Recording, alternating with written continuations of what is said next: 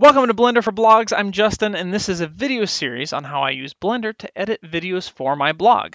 For those of you who've been following the series so far, welcome back. If you are tuning in for the first time, check out this promo video I did that you see right here that shows everything that we will be covering. Links to it will be on the screen or in the description uh, somewhere. You know, just click it, follow it, and there you go. Um, but for now, this video is all about strip mechanics, uh, the way strips behave, especially when they are cut and when they are moved. Um, so since we are going to be cutting and moving them, uh, what we want to do is make a copy of cut 2, if you've been following along so far. Rename that to something. I'm going to rename it to mechanics.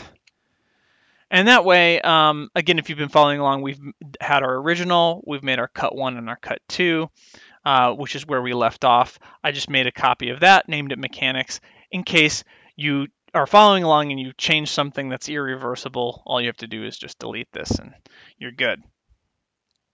Uh, the next thing I want to point out is that I'm using 100% resolution again, um, but you can tell it's actually not uh, that resolution. And that's because um, I'm using the proxy view settings proxy size 25%. Now, I actually didn't make a proxy for this.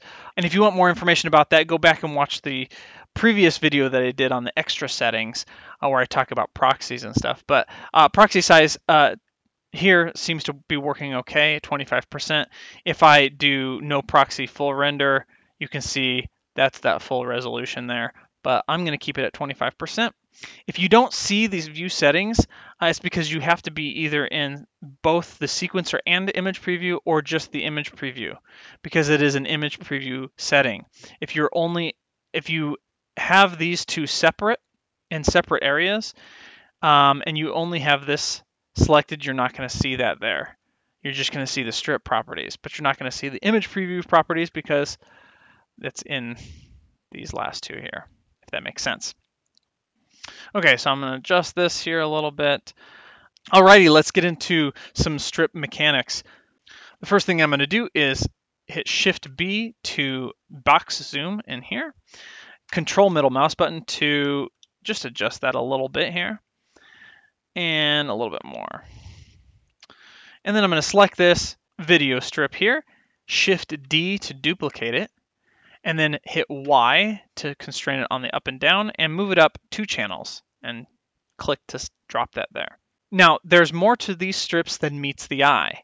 Um, here is just a cut of an entire video. And you're probably saying to me, well, yeah, Justin, that's what a cut is. It's a cut of the entire video. No, what I mean is when I duplicated this strip into this strip, I've duplicated the entire video, not just this strip, this section. Um, and to demonstrate this, I'm going to zoom out a little bit here and show you what I mean. I'm going to hide that by pressing the N key so we have a little bit more room.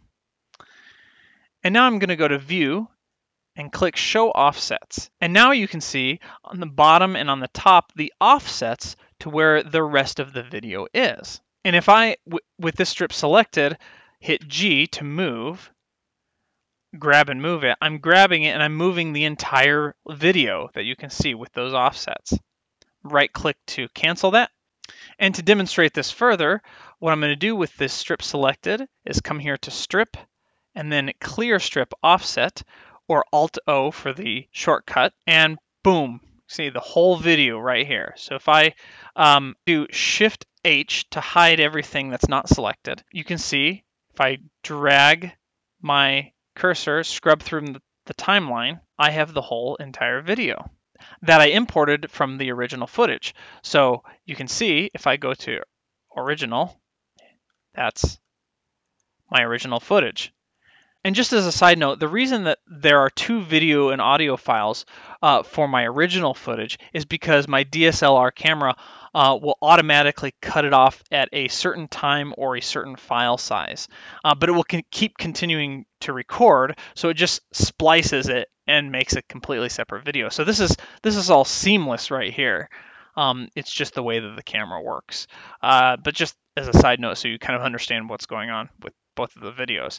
And that's why I have one audio file because my microphone just continually was recording through that. So, um, but yeah, going back to our mechanics, uh, that's the entire first video, and I can do the same thing here if I duplicate this and move it up and unhide that by double H, and then Alt O to clear those offsets. So now I have my original footage here.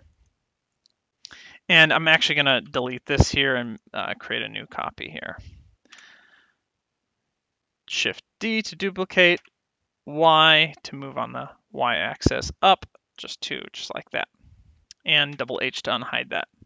Now, as I said before, uh, I can grab and move the whole movie, the whole strip, or if I right click to cancel that, I can come in here, zoom it, box zoom, to grab one of the handles and move it.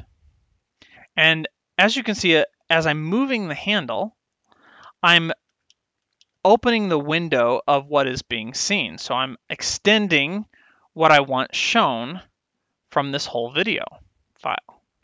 And I can do that going to the end or going to the beginning, showing the whole video file as much as I want to, to show. And if I uh, extend it beyond the offset or beyond the movie, you can see this blue line um, cuts off because that's where the end of the movie is. And what happens if I drag my cursor over it, it just hangs on the very last frame. And then after the handle, it just goes black because there's nothing um, else to show.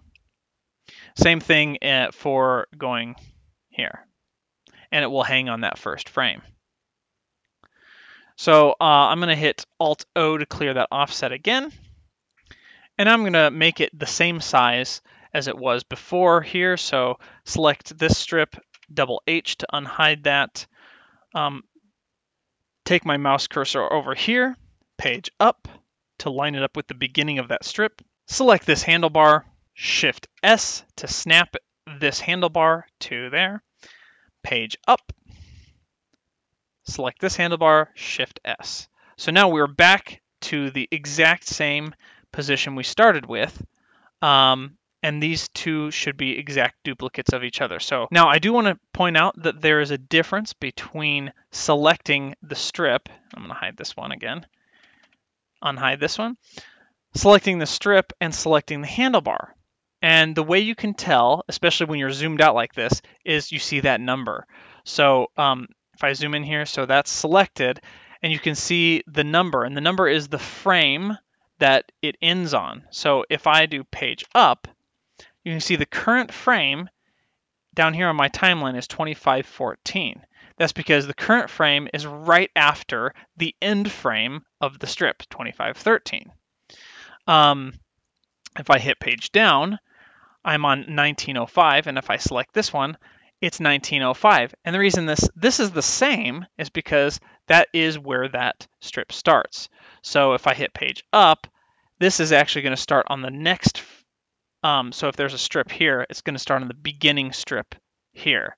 So that's why it's one uh, away from that the end strip here, if that makes sense. So what I'm going to do is zoom out so if I'm just selecting the strip and I grab and I move, you can see the whole video moves.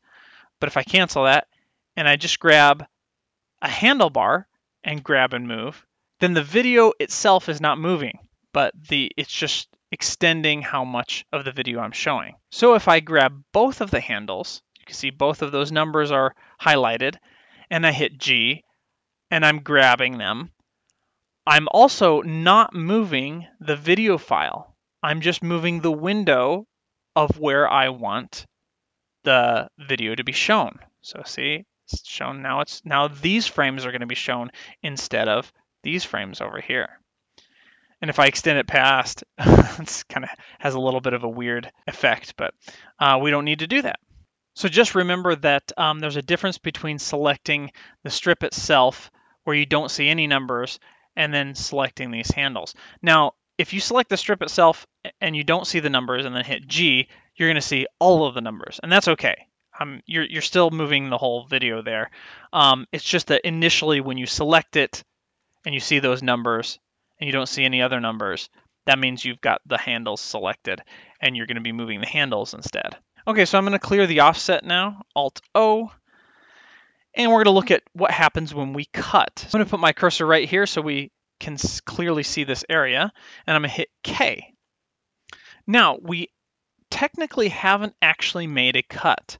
What we've done is made a duplicate of the entire video and moved the beginning and end handles.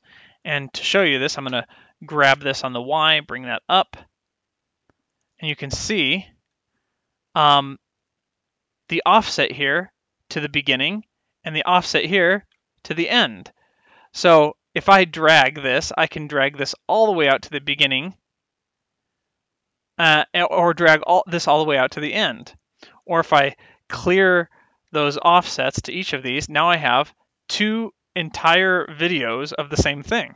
And this is what's known as a soft cut. And so a soft cut kind of reverse engineered looks like this.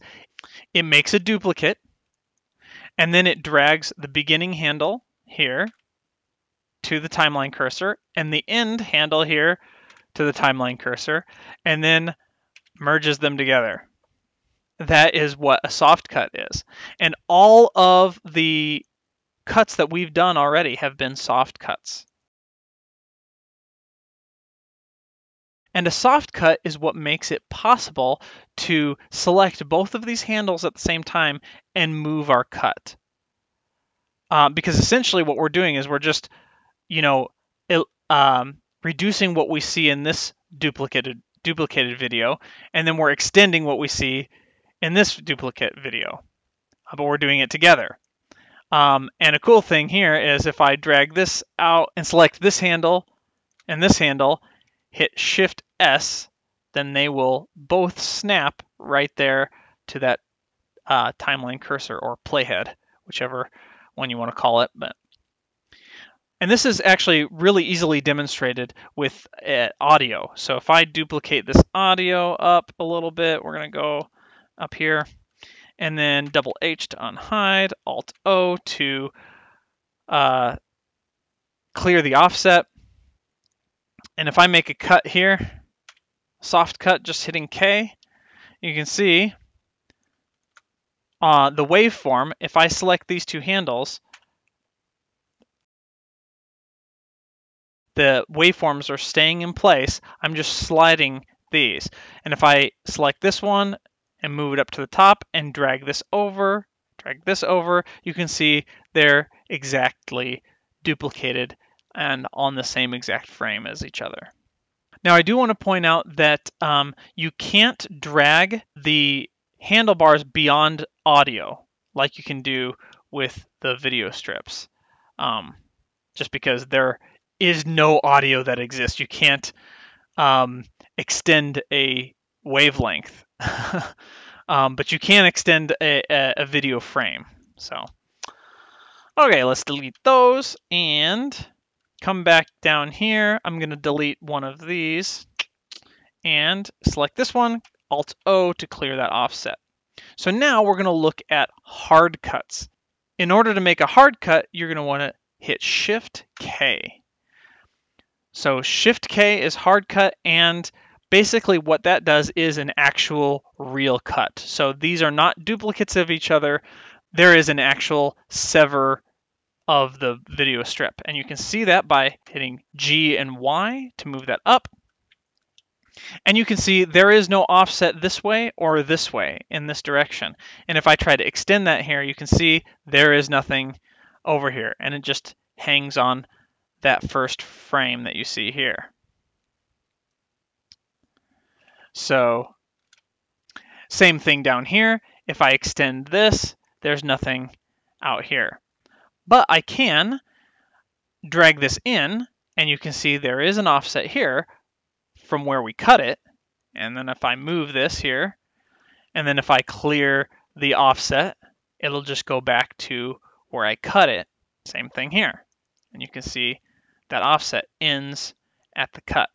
So that is what is called a hard cut. Now you got to be careful with hard cuts because once you cut, um, unless you undo, you can't uh, clear that offset. Like I said, uh, if you do a clear offset on this one, um, nothing happens because that's only to clear the offset that you actually that actually exists. So, um, so yeah, just be careful. But what you can do, you can actually make a freeze frame. So if I come down here and I select this handlebar, and then I select this entire strip.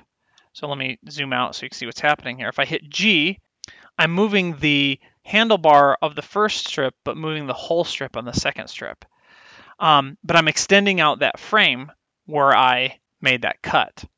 So it looks like this, and then as the time goes, it's like a freeze frame. So this is good with action shots. So if you have some somebody jumping up in the air, you can freeze it. Uh, like right there, if I hit play, that might be a little too long. Let's zoom in here. Let's go here. Hit play. Boom. What's up, thug life? you know, something like that. So I'm going to delete these here, uh, select all by hitting A, and then double H to unhide them. And you can see, um, like I was saying before, all of these are soft cuts because you can see all of the offsets. And if I drag these up, you can see each of these is an entire video that's duplicated, but the area that's shown, the little window, is just in a different spot for each of them. And that's the way we want it because we want to be able to adjust the uh, handlebars to each of these. And this is going to be really important in our next video when we do our second cut. So now that we know more about our strip mechanics, let's get on to our second cut. See you in the next video.